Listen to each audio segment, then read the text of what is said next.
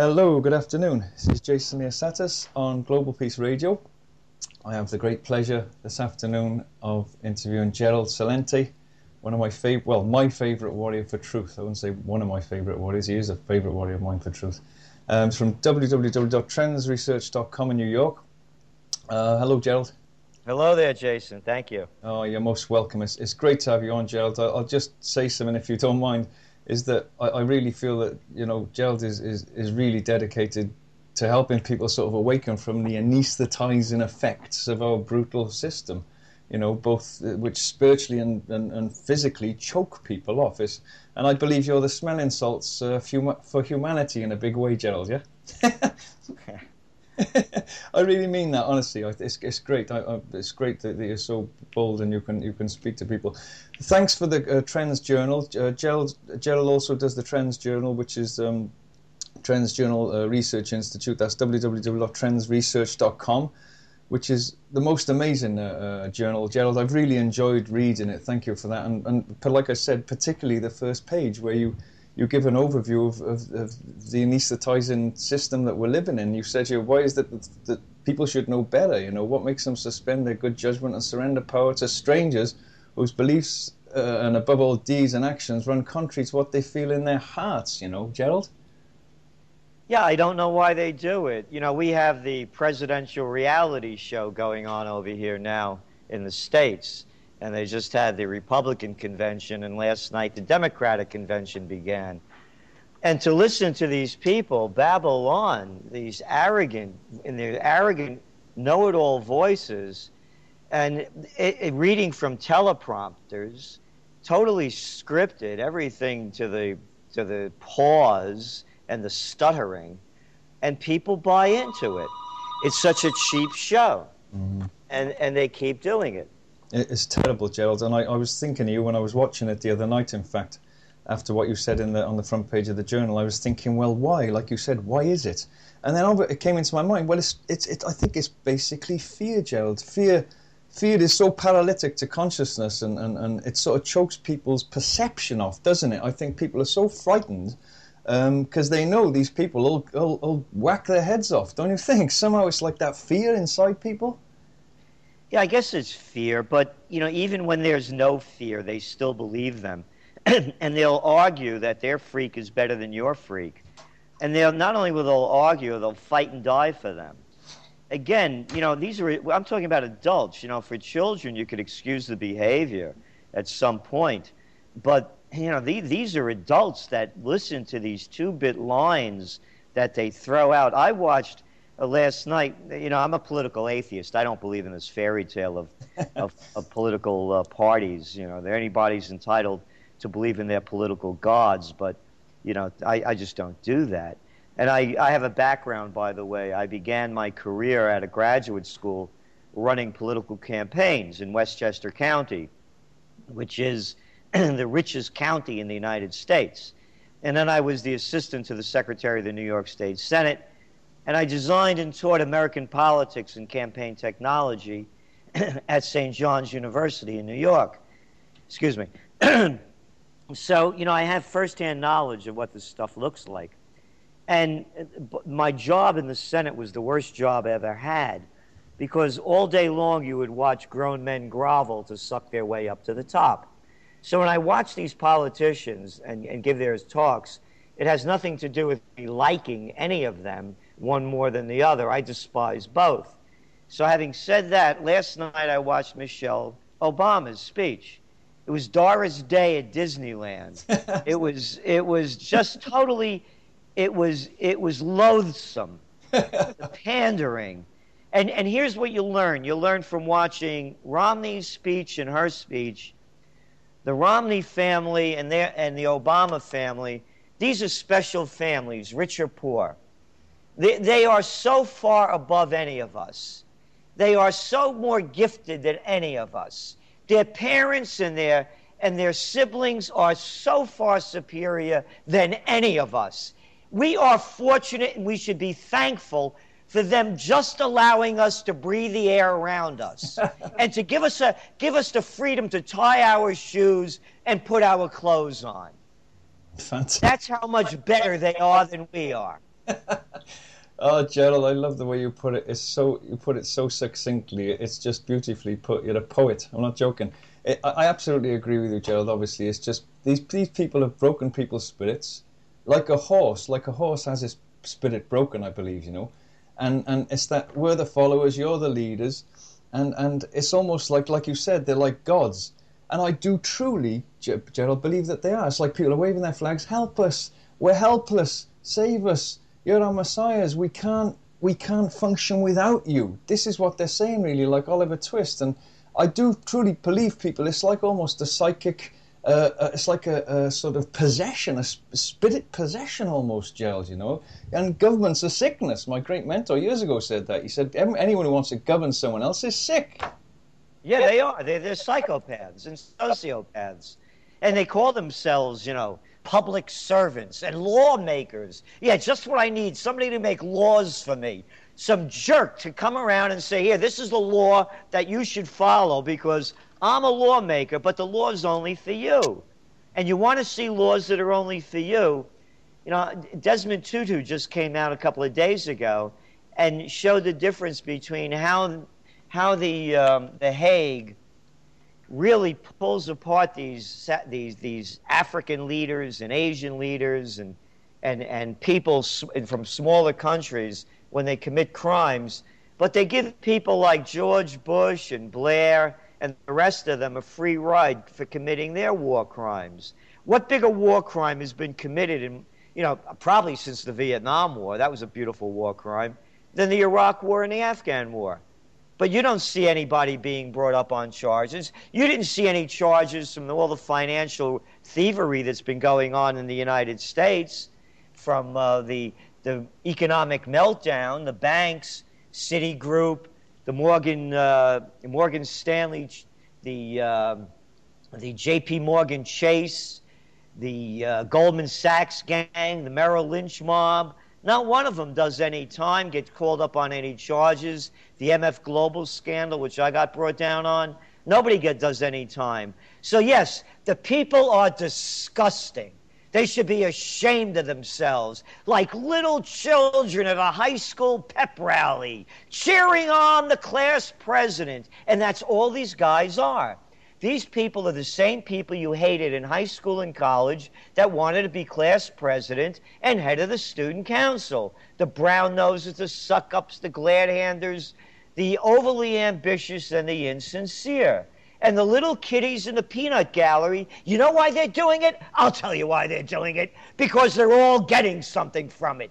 They're all sucking off the public tit and they're all pulling money out of our pockets. That's why they're there waving the flags. It doesn't have anything to do with fear. It has to do with what can it get me? These are low-life little weenies. Mm. That's who they are. That's why they're doing it. bravo, bravo, bravo, uh, Gerald. Fantastic. And I like what you said about Tutu. Great guy, Tutu. I was shot in Cape Town in the 80s for, for, for opening my mouth there.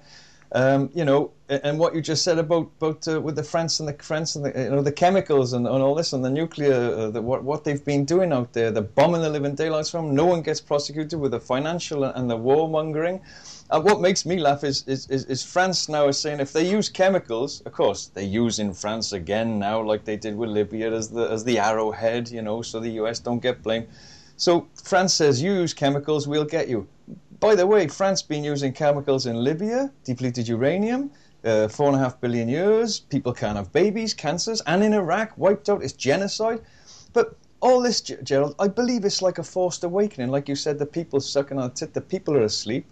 I feel that, ironically, this whole debacle, if you like, is that the right? It's like a forced awakening for the population. Don't you feel that they're being forced to awaken now? With no, you know, I wish I could say that, right. and, and it, it, some of the population, the people that have been awake are awake. A lot of new people are, are awakening, yes. But it's going to take the individual to change. Mm. The human spirit has to change. Yeah. And, and I just, you know, matter of fact, one of the trends that we're going to be forecasting for 2013 is the new, new age. Wonderful. And when people realize that it's, when they find their greatness within them, we each have this, this, this special gift that no one else has, when they bring that to light, then we will move into a higher consciousness. But we're going to, I, I saw this wonderful uh, little movie they had, a, a, documentary, not a little one, it was actually it was wonderful. I am an elephant. And about how they're how they're mistreating the elephants in Thailand, and this young girl who, who spearheaded this thing, 14 years old. I'm listening to her talking. I'm thinking when I was 14, you know, I was I was uh, reading comic books, you know, and this bright little girl uh, talking uh, so intelligently. And at the end, she said she was talking about this woman Lek in in Thailand that has this um, uh, reserve for the animals that the, the elephants that are so abused they can't they're no longer functional. So she takes them in to save them and give them the rest of their good life in, in dignity. And she said, if Lek could do it, if one person could do it, think of what a herd can do. Mm. And that's what people have to awaken to. Mm. You know, here's my saying if Clinton can, if Bush can, if Obama can, you can, and I can. Unless, of course, you think that their mother's better than yours. Because that's what they tell you when you listen to the presidential reality show. Your mother's worth nothing. You're lucky to even be here. Their mother's better than yours. Their father, your father couldn't shine his shoes. Mm, fantastic, Gerald. I, I love it. It's, it's absolutely true. And, you know, I'm so glad that you're out there talking. I, I talk the same language as you it, you, people got to say it as it is, and these people think they're better than us. It's ridiculous, and everyone has believed it. And I liked what you said about the elephant, because I looked at that video you did this morning, and we watched it three times, me and my partner. We loved the bit about the, when the guy fell over, the, the, the Spanish guy was comical. And the elephant chain is a good analogy. You know, they tie elephants up, they put them on a chain, the elephant tugs and tugs and tugs for, for ages, and then eventually they let the chain off, and the elephant doesn't tug anymore just like human beings now. And I, am really glad to hear you talking, Jill, because I know you were you were in the uh, the development uh, movement years ago. You know when it started, you, uh, I've heard you talking about that, and I'm glad to hear you talking now because I, I, talk about that in my book about the when until individuals change, it's like a big orchestra, until they retune and and and, and get that thing back that we've lost. It's like we've been dislocated. It's like a dislocation from the self, a dismembering from, from the self and that is what the real religions were talking about, Gerald, if you look back at them. It's a religamenting back to what we've lost. And like you said, uh, you know, if you could elaborate on that a bit, I'd appreciate it. Uh, until people find that back in themselves, like you've said in the, on the front page of the Trends Journal, I, I advise everybody to get it. Um, it'll never change unless the individual changes, will it? No, well, you know, you, you said something before. They said they break your spirit. Yeah. And, and the analogy you used with the elephant and how they break elephants' spirits and all animals' spirits. Yeah. And they break your spirit the same way. They just do it with different methods. And and what is it? I'll tell you my how I just feel about life. And I don't tell anybody what to believe. And yeah. or you know my motto: think for yourself. And and about people reaching their level of, of courage and dignity and respect and integrity and passion. You know, I, I'm I was married for many years, and I'm divorced a long time, and um, yeah, I don't have any children, and everybody I love is dead, and so you know, I, I see, you know, there's the end, you know, and so for me, again, only speaking for myself, you know, we, we hear a lot of stuff. I, I listen again to these these these camp these. Uh, the presidential reality show and the conventions. I'm sick and tired of these people telling me about their God, you know, mm. and how, they love God and they love family and they're again, you know, I don't want to hear their crap anymore. Yeah. No, me. So the way I look at heaven and hell, and, and not even heaven, just mm. hell, it, to me, hell is taking that last breath and knowing that you lied to yourself and you weren't the person who you said you were. Yeah. And so that's all it comes down to for me. Yep. When I check out, I want to check out with a clear conscience. Mm, and, um, and, and I, I, again, that's, that's the way I see it. So if people might consider doing that and think of that thought, mm. when I leave this earth, will I have lived up to who I am and said I should be and what I was? And I think if you, if you think about that on a daily basis, you'll start living more by the golden rule. and and doing unto others as you they would you would have them do unto you, and also to start doing the things that if you believe in any kind of spirituality, you know, are you doing what you can do to help those that can't help themselves? Mm. Are you being a global citizen in the sense of are you respecting the earth? You know, people argue about the environment. You know, there aren't enough studies to prove that if you dump trillions of tons of pollutants into the water, air, and food, it's going to kill you. You know, you uh, don't, uh, we don't need any studies. Let's just use some common sense here. Mm, bravo, Gerald. You're, you're absolutely right, obviously. And it's like, uh, you know, people have become, I think what's happened is people have been so dislocated. I keep coming back for that, that word, I know, and it's like an amnesia. And, it's the anesthetizing effect of the, of, the, of the system we live in. And I know, I'm, I'm like a bit like you, in a way, I, I don't forgive them completely. It's like, look, wake up and i think they're being shaken now to the core when will they wake up when they're queuing in, in, in a line a queue for bread like a, like like like in greece and and I, I, I like the dog analogy. I had a dog, Gerald, before, and I the dog wanted to be free, obviously, but she wanted to stay with us. And I said the other day, is if, if you open uh, if we open the door to a dog and say, go on, then you're free, the dog will look at freedom, look at you and think, well, I'm getting a few morsels of food here. I think people have been so disempowered, Gerald, that they, they don't believe they can be free. They don't believe that they can fend for themselves. And that brings me on to food. I've heard you talk about food, the biggest dependency of all. If people can't feed themselves, they're paralyzed, and it's the biggest thing of all, the biggest uh, uh, uh, chain, isn't it, around people's necks? Yeah, well, yeah, you, are you're right. People don't believe they can be free. I, I, that's, that's really, really well put. They're dependent on everything, and your food, you bring it back to that. Uh, you know, when I first began to forecast trends, I, I, really started to learn in the late 70s. And it, it was a real shock to me. I was a very different guy and I started waking up, and for a variety of reasons. And uh, we moved from Chicago to Rhinebeck, New York, and Rhinebeck in that time was, it was about it's about an hour and a half north of New York City. It was the country.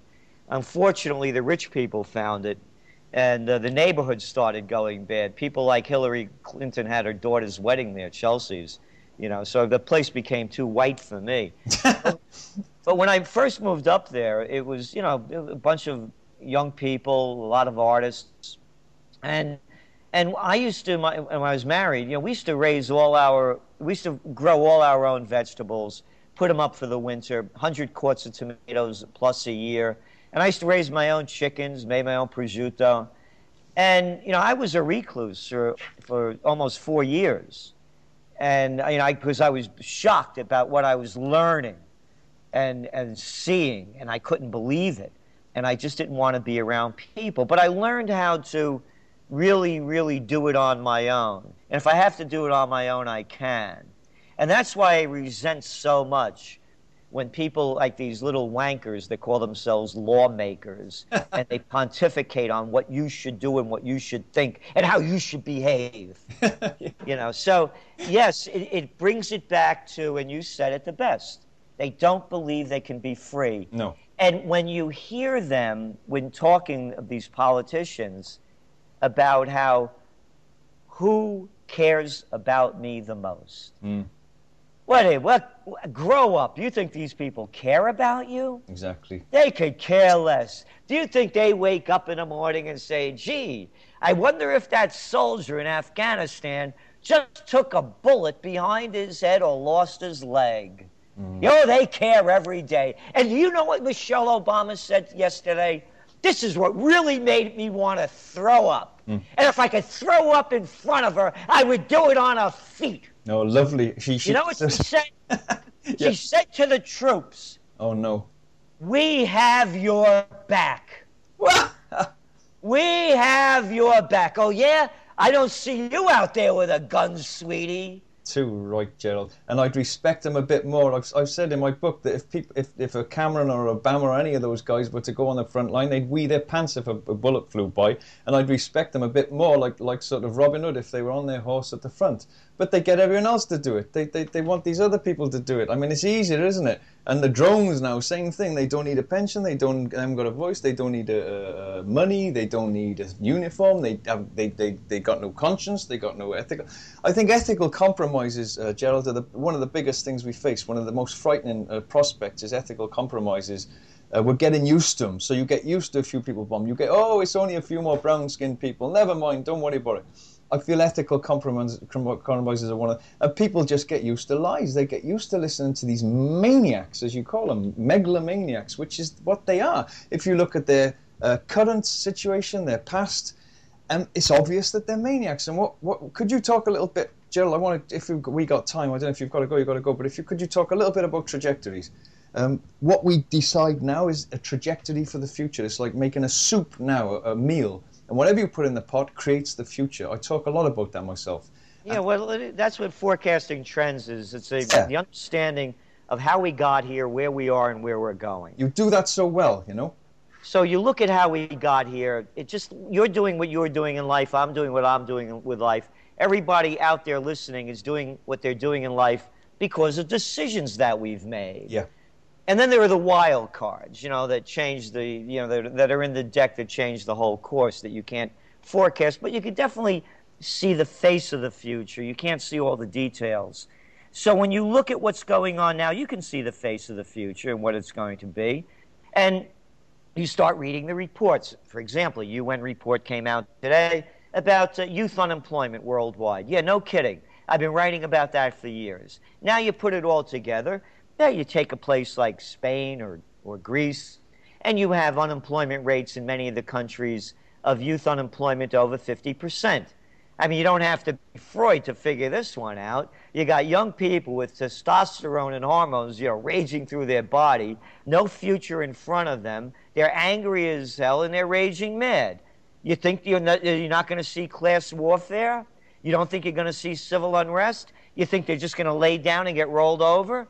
So you start putting it together, and you can see, you can see why you had uprisings in Tunisia, in Egypt, why the indignados are getting out into the streets in Spain, and how it's going to expand into the first great war of the 21st century unless the course is changed. Yeah. Are we getting used to being, again, you, as you were pointing out, the atrocities keep mounting, and you keep getting used to them. Drone attacks killing people, so what?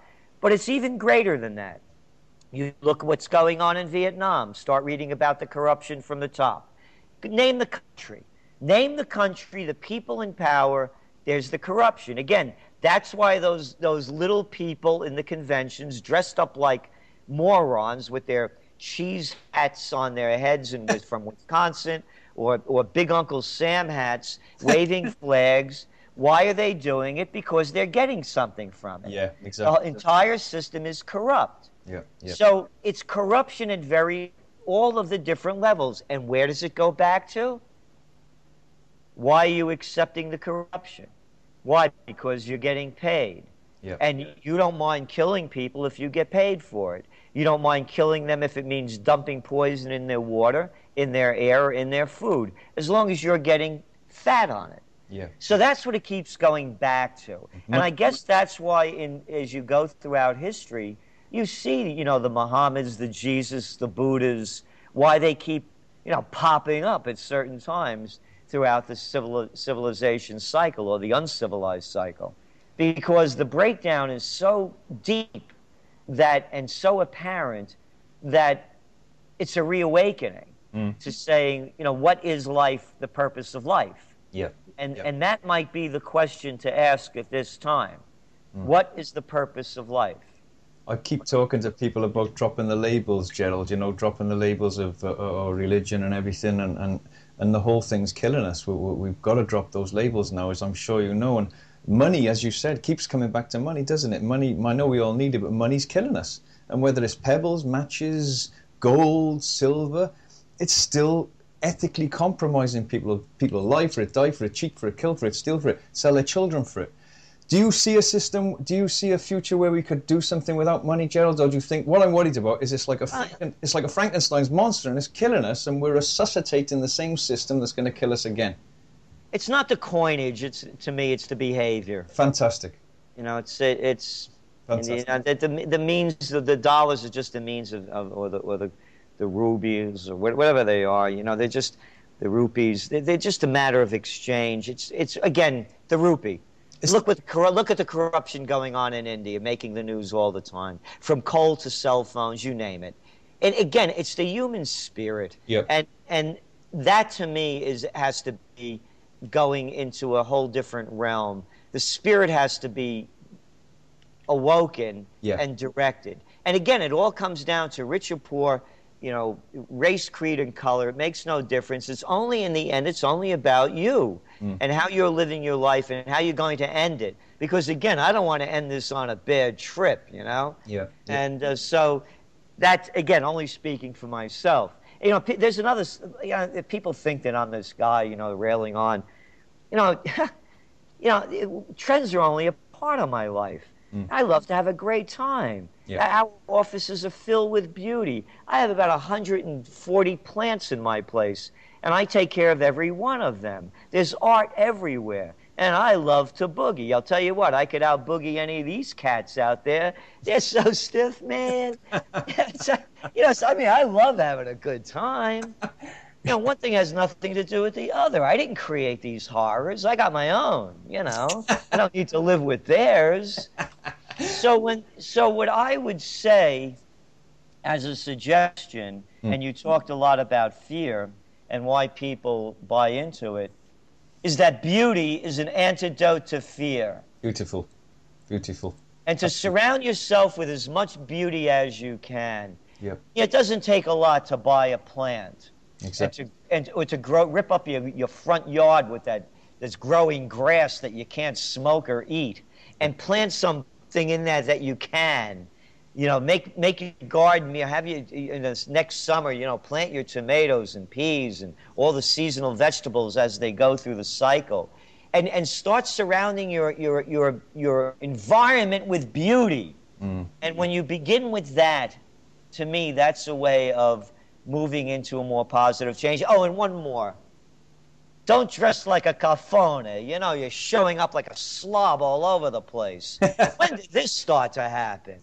You know, where is the dignity and self respect? It doesn't take a lot to get dressed up. And I'm not talking about designer stuff, labels, as you said. You could go to the thrift shops, the secondhand shops, the antique, the vintage, the Goodwill of the Salvation Army, and you could dress up like a prince or a princess. I think. And it doesn't take a lot. And get in shape. I think. Physically, emotionally, and spiritually, and stop eating crap. Mm. Eat good food. And you don't need a lot of it. Mm. That's the key. I think we can agree on that, Gerald, for sure. That's the key. Unless we, unless we come back towards ourselves even if the system recovers from it, from its smash, we're just going to kill ourselves again and again unless we find that, that thing inside us that we've been robbed of or we've re- relinquished. Do you know what I mean? You know, I went. I, I always, I like to get dressed. You know, and I, I the other it's summertime, and I have you know a white suit. I put on that white suit at night when it's nice and chilly out and it's just perfect. And I stroll through town.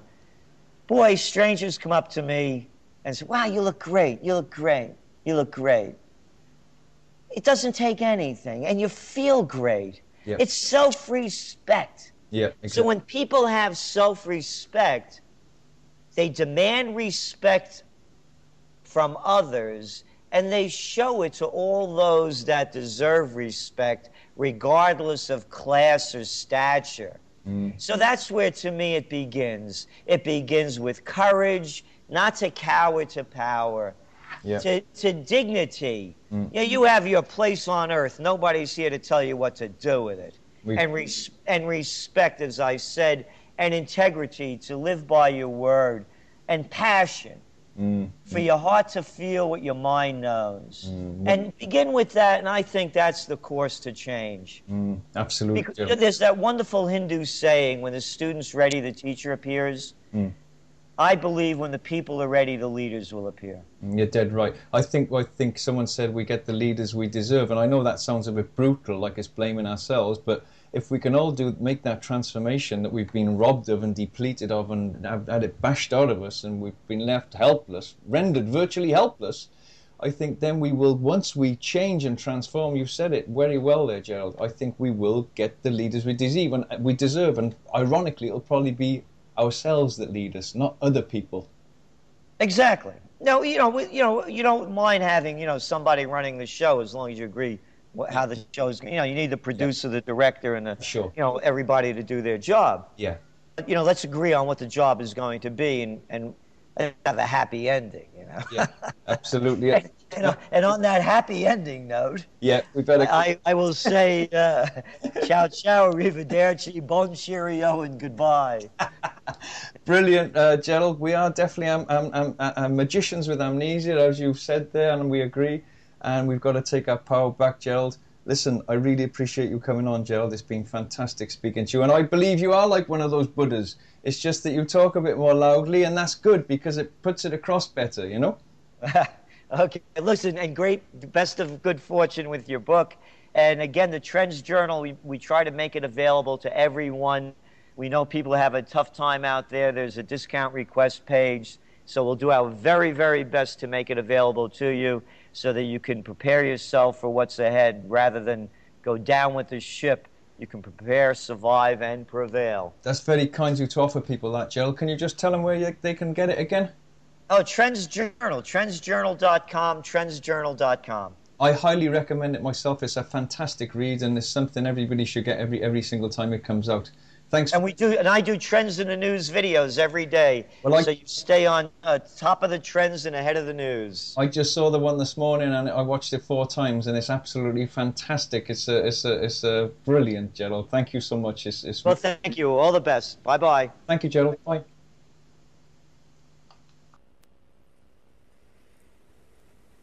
Well, thank you, Gerald, again. Uh, what can I say, really? Um, I love that guy.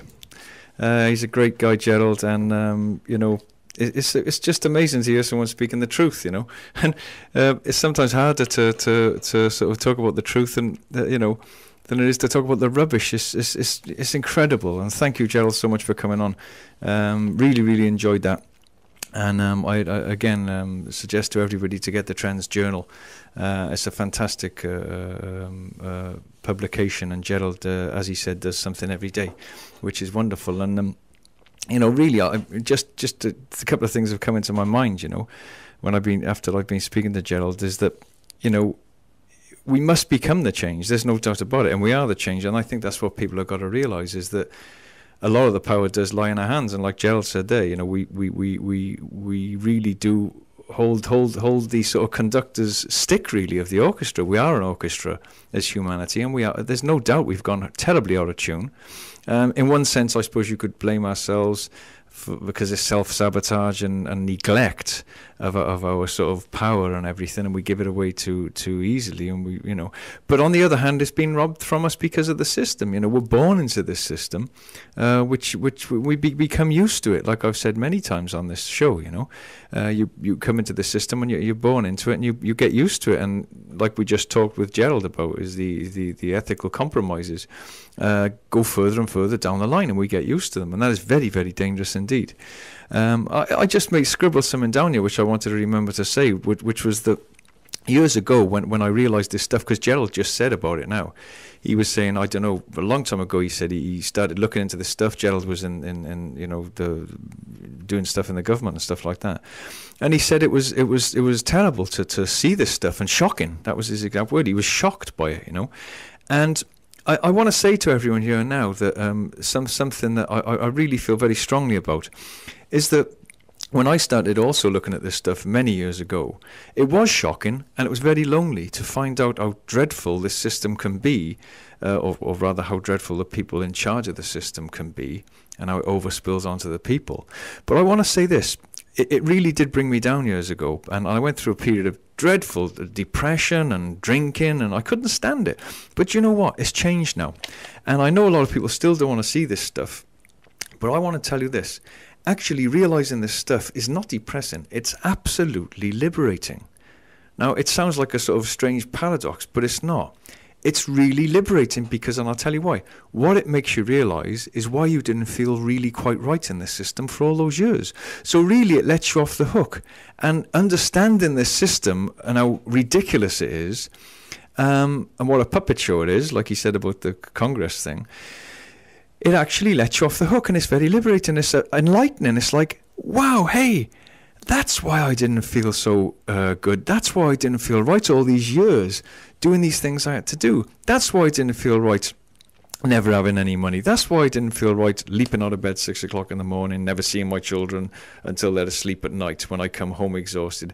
That's why I felt depressed. That's why I didn't feel quite right about this system when I didn't have any money left at the end of the month after I'd paid all my bills. And um, that's why I didn't feel quite right. So I'm telling you, it's really time to look at this stuff. A lot of people won't, as we discussed with Gerald, um, but a lot of people are. And, and there's definitely a, a, a, a, consciousness transformation now. My book, The, the Emergency Transformation of Human Beings, is, is dedicated to that. And um, I talk mostly about that very thing uh, about the, the, the, the, the, change in human beings. And I do believe, like we just said with Gerald, I think the an, an anesthetic is wearing off. Like Gerald said, not for everybody. Um, but in, in one sense, uh, we've been almost possessed by, by, by, by the people that run this show. Is they've put us to sleep, and it's, we've been possessed physically because we rely on them for food and money. We, we've been possessed psychologically because uh, we're, we're, mostly controlled by fear and, and, and, and, and debt um, with the banks and everything, and we've we've almost be, become uh, possessed psychically because it's almost a possession of our consciousness, you know, and um, there's no doubt about it. It is a, like Gel said, it's a Disneyland show and uh, the, those things you're seeing now out there with with you know the Obamas and the Romneys, and people are idolizing them and waving their flags and sh- literally shouting, "Help us! We're helpless. We can't we can't live without you controlling us and leading us." But I think it was important what Gerald said uh, that we do all, you know, sometimes we need a, a, a um, what's it called, a director of a show, or you know, the people that do their things within that show, but not on such a ridiculous level. You know, it's like we're, we're really controlled too much, and people have become used to that. Um, you know, I gave the analogy of, of the horse, like like we said just now with Gerald, that, that, our spirits have been broken, and there's no doubt they have been broken, and that is part of the transformation. Now I feel that we're putting ourselves back together, like Humpty Dumpty, if you know that story. Had a great fall, fell off the wall, you know, and uh, you've got to, we've got to put ourselves back together and.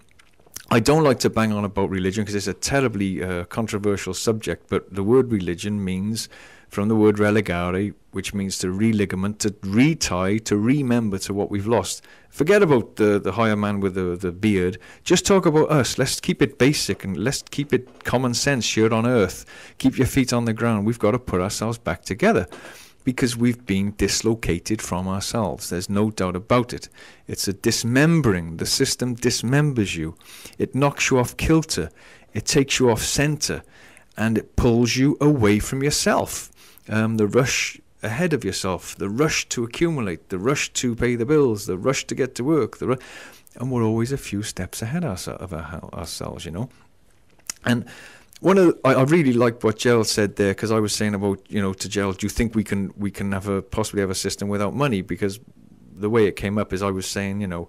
Um, money. I'm worried we're going to resuscitate the, the Frankenstein's monster that's going to kill us. The the currency system now, um, you know, it's like a dead corpse, which is like a cancer almost, which is killing us because people will do anything for money almost, and it ethically compromises people, particularly at the top, with the more they get.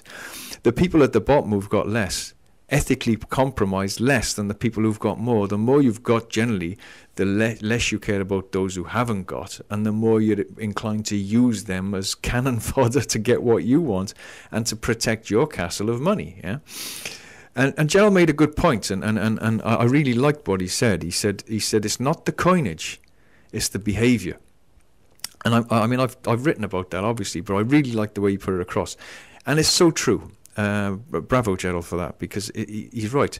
It's not. I mean, I've said this can be pebbles, matches. You know, it could be could be sticks that you use for a coinage.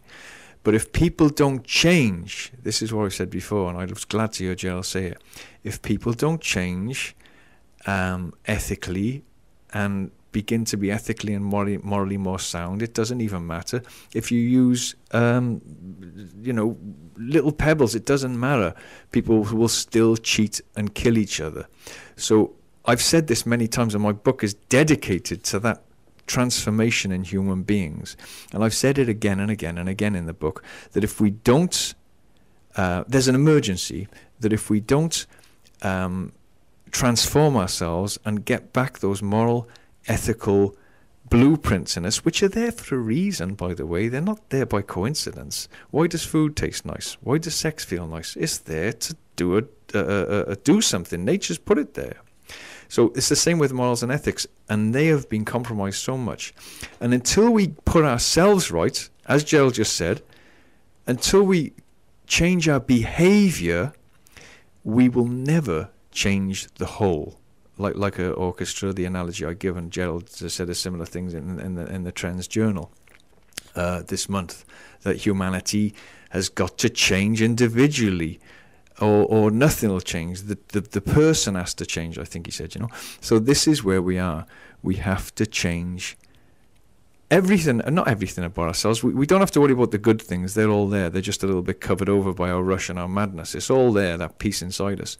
But we've got to take responsibility and we've got to become responsible now. Or, there's no doubt about it, even if we patch up this system, it's going to kill us again. And that's why I called it the Frankenstein's monster. It's almost like a poison chalice, which will be pressed to our lips if we don't change. That's it. And as I said, uh, um, I think I said on the back cover of my book, here it is. We can no longer rely on any world, world, government to change things. Their obsession with money, war, and power has consumed them, and this in turn has consumed us. This system, which is built on fear, short term greed, and slavery, is at the brink of a total collapse. The transformation so urgently needed cannot come from the outside in, it must come from the inside out, from each person's individual transformation, which is the key to the solution of the world's problems. Yeah, That's it, you know. And um, we do stand at a cri- critical fork, fork in the road now, and I know it sounds alarmist, and I know I do rant about this, but that's me. That's Jason Liosatos. I can't, I'm, I'm sick of not being me. This is who I am. I talk about this stuff because I'm really concerned about it. And like Gerald said, you know, very, very well, I, I'm glad he said it there. He said, hell, very, very beautifully put, he said, hell for him is ending this life or being at the end of his life and knowing that he didn't do the best he could. That is hell. There's no doubt about it, you know. To think that you sat back, and other people in, in, in positions like, like Gerald, I won't use any names here, but a lot of them have said that, you know. Um, what are you going to do when your your your your your your grandchildren, if someone says to you, "Hey, what did you do when when the system was was building a fence around you and, and confining you and and, and taking everything away from you. What did you do? What did you do? Well, I, oh, actually, I was watching television every night, swigging champagne or swigging, you know, beer down. Well, well done, bravo, Gerald, for saying that, you know. And, um, you know, uh, we do stand at a critical fork in the road. It's a turning point in our history. There's no, absolutely no doubt about that, you know. And my book was just going to be about uh, finding peace uh, inwardly. But I, I realized I couldn't just talk about finding peace unless I talked about what takes it away, which, as I said in the beginning, is self sabotage, but also um, um, uh, neglect, but mostly from the people that, that, that, that take it away from us. And and you know, Giles right. It is it is it is a Disneyland show. Those people in, in, in Disneyland over there, you know, um, waving their flags. It's very very shocking. I'm not joking. It's really scary stuff to think people are still out there now, um, looking for another idol to lead them because they feel so helpless. You know, and like Gel said, the spirit, human spirit, has to change. I think that was his exact words. And what I'm really glad about is, is um, he was saying that um, the next trend, I think it's the next Trends Journal or, or next year's Trends Journal, journal is going to be um, about the new new age, you know, which is fantastic. Um, we can't, we can no longer uh, live in the same system we're living in, and that's why so many people are, are scared to see this truth, you know. And they say, "Oh well, no, that's too negative for me. I, am not, I'm not, I'm not going to look at anything negative." Well, I'm sorry to say, if I didn't look at any, anything negative, um, you know, I might get run over by a bus, or, or you know, the Titanic hitting the iceberg's a good analogy. You know, there was people on there saying, "Hey, listen, Captain, we're getting a bit close to those icebergs." I believe, apparently, and um, oh no, no, that's a bit negative. No, it's not. Turn the wheel before it's too late. So it's a great responsibility. Uh, uh, you know, this stuff that we're looking at here, this this truth, this reality of how ridiculous our system is, and the and the the, the, the, megalomaniacs that are running the system. I mean, like we we discussed now. Um, you know, you only got to look what they've done, what they're doing, what they've said, and what they're saying. There we go. I've, said it. What they've look at what they've done. Romney, Obama, Bush, Blair. Look at what they've done, what they're doing. Look at what they've said and what they're saying. And you can only surmise. Let's say you brought a person from another planet of sanity. Yeah. What would they surmise? They'd surmise that these people are insane. There's no doubt about it. What are they doing? My goodness. And, and, and they're projecting in the future. That's why I asked Gerald about trajectories they're projecting into the future a future of madness and chaos because we the soup of the future is what we make now. Uh, every decision we make now, there's no doubt about that. Every single decision we make now uh, creates the future. It, it, it sounds a little bit alarmist, but it does. You know, there's no doubt that the you know the the um, our future's made in every moment and with everything we do, every breath and step we make, uh, we take. I'm just quoting out of the book here. The future impresses itself on us all the time. No sooner we've decided upon something, the future is created, feeds back to affect us, and the future's given us early warning signals now. You know, it's given us the chance to alter our course before the mistakes reach fruition. Yeah, and uh, one more. I'll just say another sentence over there. But with technolo- technology technological advances accelerating things so fast now, we get less and less chance to rectify unwise choices. You know, and the consequences hit us harder. And that's, I talk a lot about manual override. If you're in a plane and you're on automatic pilot and the decisions you're making are just going to go hurtling into the future and there's nothing you can do about it, if you haven't got manual override to pull that stick back, and rectify the future, you're in big trouble. And what we're doing, not us, what the people control, uh, what our uh, captains and leaders in this aeroplane trajectory of madness are doing now, uh, all against each other, fighting like bullies in a schoolyard, is they're not intelligently creating the future with vision the vision that's required and the intelligence for the future of this planet and the future of humanity for our children and our grandchildren is a very serious business. It's a hugely serious business. And if we don't carefully uh, uh, uh, create that future, because we are manifestors of the future via, via our, our thoughts and our actions now, there's no doubt about that. Uh, we're magicians of the future, there's no doubt about it. And we, we've got to become responsible. And every decision we make now is flying into the future, and even decisions that were made a couple of years ago by the maniacs in control, I'm really mean it, I'm sorry, it's true, then that's going to come back and knock our teeth out like like a swing or a pendulum, you know. So, and, and Gerald was talking also about um, when I was asking him about trajectories. He was saying about um, about you know that's how he, he he looks at the trends. He looks at the past, um, what's happened in the past. He looks at the present, and that helps him to predict the future. You know. Um, but um, which which is which is what he, he said he does. I mean, I, am gonna I'm gonna um, you know give uh, Gerald a compliment here and, and say that I don't think that's all he does because I think Gerald does more than that. I think he intuits the future as well because um, he's very very good at it. You know, you've only got to look at his website and look what he said in the past. He was on, on Oprah, he was on all sorts of things. He's, he's on somewhere all the time talking about the future. And Gerald's got an intuition and a, and a sensing for the future by looking at the past and the present. But it's more than that. He's a visionary. There's no doubt about it. Um, Gerald can see see things that are coming uh, better than uh, most people. And these are the kind of people you should be listening to. this is the thing. You don't listen to people who are, who are, who are just um, randomly making choices to bomb this place or bomb that place to get their oil or to take their minerals or for strategic gain or because they've got their warships parked there or because of this or that. And, you know, those aren't the people to, to, to having control, uh, making decisions for you. That That's really, really, really scary stuff, you know. And cause and effect is a huge thing, you know um, it, you know, it's a huge subject, and, and, and, what it is, it's like a surgeon's scalpel. Um, this is how big the responsibility is, and, and I know this stuff because I've made terrible decisions in the past, and they've come back to smash my teeth out. You know, in in various parts of my life, I've had a crazy life. You know, um, and and I've learnt a lot from that. Um, but and, but that was only my life.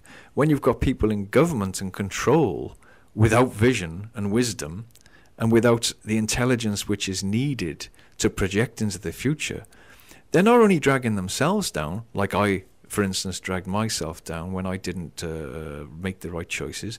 They're dragging the whole of humanity down.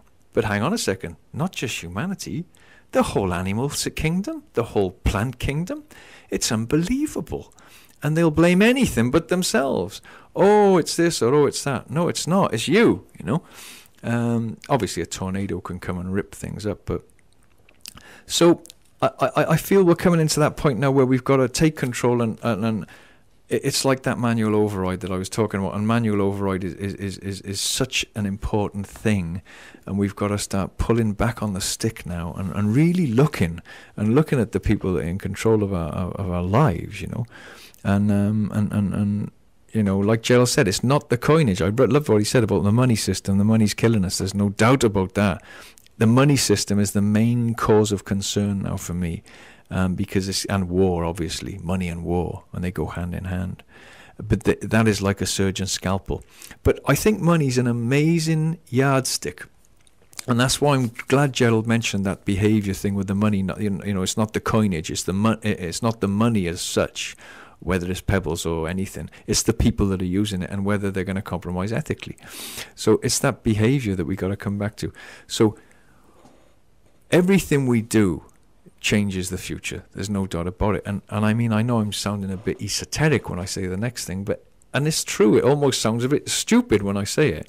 You only got to listen to physicists now. You know, um, Rupert Sheldrake, Gregg Braden, you know, uh, Lawrence Lipton, I think his name is, and all these these people who are scientists, physicists, they're all saying the same thing now.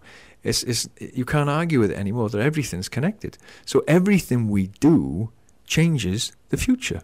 Everything, everything not only does it change the future, it's even it's even more of a responsibility than that. It changes someone else, another human being. Now, I don't know the intricacies of it because it's a it's a it's a massive lattice, you know. But it does. So that's a huge responsibility we've got now, and um, to to to change ourselves in order to change the future, you know. And um, it really is like a surgeon's scalpel and, and, and, and I believe it's a race now. I, I, believe we're in a race. I think we're in a race of where the human and I will be talking about this a lot more. This is my big subject. This is what I talk about all the time um, you know it's a race to transformation or annihilation and I know that sounds a bit scary and most people might put their hands on their ears oh I don't want to hear about that it's negative. Well you know or, or um, you know know, what you resist persists, or you know, uh, you know, you shouldn't look at anything negative, and like the Buddhists say, you shouldn't look at anything negative, but actually you should, because it's, if it's killing you, you better change it, you know, and and like like we talked about on the interview, it's personal transformation that's going to do it. We can't wait for the people that are, are, causing mayhem to change it because they're at the moment they're not going to. And these people, by the way, have got grandchildren and and and they're, they're, megalomaniacs. I mean, you only got to look at them in, in the conventions now that Gerald was talking about, and these people are, are, are, are, lavishing the applause. I mean, if someone happens to clap for me, I, I, I get really embarrassed. I don't, I, you know, I almost say, please, you know, don't don't clap. You know, rather use that energy to help someone. Don't don't clap. I'm not, you know, this clever guy. Someone once said that um, if if the applause of other people is the only thing that makes someone feel like they're alive.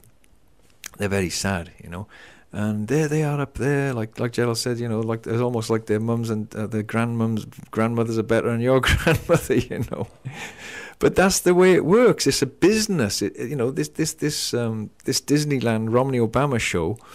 It is. It's like a, it's like a it's like a business. It's like you know how many billions and billions of pounds are being funded by the way, by the banks, by the people who want them in, you know, um, to get them in. And it is like a, it's like a, Gerald said, a freak show. And I'm sorry to tell you it is. And it's ridiculous, become big business. It's like, who, you know, who's to, who's to put me in? You know, it's, it's just, I'm not joking, it's crazy. Um, so we must become the change. And another, just to cover a thing that Gerald said towards the end there, which was, um, I know I'm going on about Gerald, but, but, I, but I really appreciate Gerald because he's one of the very few people out there who've got the guts to stand up and talk about it. You know, there's not many people that will do that, and I, I can make an I'll make a prediction here. I'll I'll make a, a, a forecast here if Gerald will permit me. Yeah, Gerald's better at that than me, but I will make a forecast here. Yeah, I will forecast that we're going to have a merging. Now, I mean, and people have been saying that for a while, but I think it's going to be more of a merging than we think. There's going to be a merging between between um, people transforming and and and and the other thing coming in, which is which is the government and everything like that and all. It's it's going to be a different thing happening now. Yeah, it's going to be like that transformation. There's going to be a melding of the two, and it's not just going to be one or the other. And I think, like we said, it's going to it's going to over, overtake um, and change the politics. You know, the, the transforma- the human transformation, um, individual transformation. There's no doubt, as we discussed in, in the interview, will dictate dictate the politics of this world. There's no doubt about it. Because, and you can see it happening now. People are transforming so fast, not fast enough, in my opinion, but they are transforming so fast now that even people in the military are saying no and, and suffering the consequences. They're saying, do you know, I really can't drop a bomb on that country. I really can't. I can't drop a bomb on those people who really I'm connected to, you know, molecularly. They're, they're my brothers and sisters, you know. I, I can't do that. Just because you said their leaders are bad and you're going to get those leaders. And and of course, it's not so bad for a drone because, as we said in the interview, a drone can drop a bomb anywhere, and there's some guy in a booth somewhere with less of a conscience than, than if he presses a button from a aeroplane with bombs underneath him, and he's got to fly home thinking about it. But if you're in a booth somewhere and you do it with a drone, there's less of a conscience. There's more of a gap then, isn't there? and then someone gives him the command to do that. So there's another gap there. And then someone gives the commander the command, Obama. Uh, I, uh, um, what was his name? David Swanson, great guy on the other day, was saying that actually there's a there's a, there's a murder murder list in in the White House. That's what he said, and they choose who to murder each week. it's astonishing, you know. I, I, could hardly believe it when he said it, David Swanson. It was incredible. I, he's on, he, I've interviewed him. He's on my on my um, interview uh, list there. You can listen again on www.jasonliosatos. That's L I O S A T O S. JasonLiosatos.com. You can listen to David on there, and he was saying there's there's a murderers list there. Who, who, who, you know, so people are waking up. People are coming out around from the chloroform. In a way, it's not happening fast enough. In another way, I said to someone the other day, I'm not this soothsayer. I just talk about common sense. I don't think I'm this clever guy at all. I mean, I don't even know my maths times tables. I don't even go to school. You know, I'm the dunce of the universe to a great degree, but I just see things uh, uh, in clear day, uh, light of day, like they're common sense. Someone said to me the other day, "I'm so frustrated." They said uh, because things aren't happening quick enough. He said, I'm speaking to people and it just seems like, like they don't understand, like they're asleep and they won't face the reality of what what's happening on the planet, you know. This this gentleman I spoke about, he's got little children and he was really concerned, you know, and I don't blame him. And something came into my mind. I said, you know something? I said, it's probably a good job that people aren't waking up quicker and everyone wakes up at the same time from the chloroform, from, from the sort of... Uh, anesthetizing effects of our, our system of sedation, if you like. Because if everyone woke up at once, the whole system would collapse to its knees overnight. No one would go to work. No one would uh, fight in the military if everyone saw the truth for what it was. There's no doubt about that. Everyone would stop. I mean, there would be some people who would be more frightened than others, and and obviously I'm, I'm making a big brushstroke here. They would be scared, you know, because they wouldn't get money and then they couldn't eat. So it's not as simple as that. But I said it's a good job people are waking up slowly. So the transformation is happening slowly. There's people waking up and they're waking up in, in, in you know, they're waking up uh, slowly, you know. So um, I, just before I go, I want to just I just want to just uh, quote quote something out of the book here, if you don't mind. It's uh, it's it's the, f- start of my book. It's it's called the birth of a new epoch of consciousness. You know, and um, I just want to just want to mention it before I go here. I just the subheading is the true transformation which will change our whole existence is waiting within the womb of each person's consciousness to be born. Now, my great mentor Charles Moses said that. I didn't say that, but I I go on to say humanity is ungo- undergoing a sacred pregnancy, which sounds a bit radical, which nothing will stop, though we may have to push a little. Yeah. And we're going to have to push a little. We can't, this is me speaking now, we're going to have to push a little. We can't just wait for something to happen. We've got to help it along, but it needs to be given birth to. Know? And the word epoch comes from the Greek word epoche, which means stoppage. Okay? And in all pregnancies, there comes a point where the pregnancy stops and the birth begins. So we as humans are now at that critical point in our evolution and consciousness, and obviously the state of the world, and and and we're being forced to prepare ourselves now as quickly as possible to let go of what we've been and embrace what we're becoming, like the transformation that I just talked about with Gel. You know? The emergency and resurgence of what we once were, which has become dangerously overdue. It's been like an, I've likened it to an umbilical cord to ourselves, which has got to the point where it's almost snapping completely, exacerbated by our system, which automatically disconnects us from our vibrant selves. Humanity is heavily pregnant with itself, and we as individuals are now being prompted to become the midwives for the birth of ourselves and the birth and beginning of a new, whole new way of living and being on this planet, based on a more symbiotic relationship with ourselves and everything else. And I, really mean it when I say it. We, we no longer have the luxury to put our transformation off till tomorrow. You know, we, we haven't we, we haven't got that um, um, we haven't got that uh, luxury anymore. You know, and like back to Gerald, like he said, it's the it, you know he was talking about beauty as the antidote. You know, and and and I, I like that. You know, uh, integrity and truth. I wrote down as someone else he said, and you know. Uh, and I've written here myself the emergency transformation of consciousness is the antidote to every problem on the planet. Almost every problem on the planet could almost be changed with consciousness if we put our shoulders each person should put their shoulders to the wheel. And yes we're have to gonna we're gonna have to face ourselves. I had to face myself. Gerald talked about facing himself you know and and, and he's got you know when he when he started looking at this stuff it is a you know it's hard to face yourself sometimes. I think he said that. Correct me if i'm wrong gerald. Or he alluded to that i think. And it's hard to sometimes face yourself. But until we do and and change ourselves and and I, I was blaming money, and I'm glad, glad Gel's changed my mind today, you know, because I I was thinking I was I was speaking about the money like it's the evil, like it's the Frankenstein's monster that's going to kill us. Well, Gel really en- en- enlightened me. I I'd sort of thought about it before, but just the simple way he said it, it's the behavior, not the coinage, you know. And that is what it is. We can't blame everything. We can't blame technology because it's a surgeon's scalpel. It can be used to heal and it can be used to harm. It depends who's holding that scalpel. Okay?